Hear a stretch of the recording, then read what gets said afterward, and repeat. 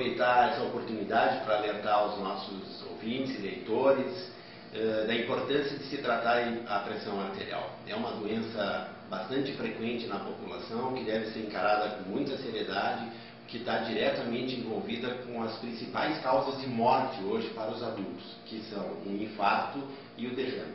A maioria das pessoas que têm infarto e que têm derrame, que é o acidente vascular cerebral, elas são portadoras de hipertensão.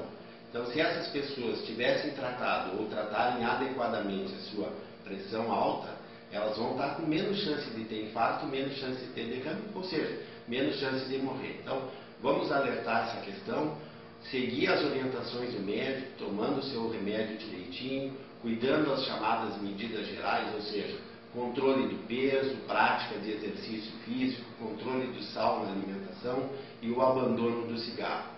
Hipertensão é uma doença crônica que infelizmente não tem cura, mas tem tratamento. Ou seja, se tem tratamento, devemos fazer o tratamento. Fazendo o tratamento, nós temos menos chance de ter complicações e menos chance de ter acidente vascular cerebral e, e infarto do miocárdio.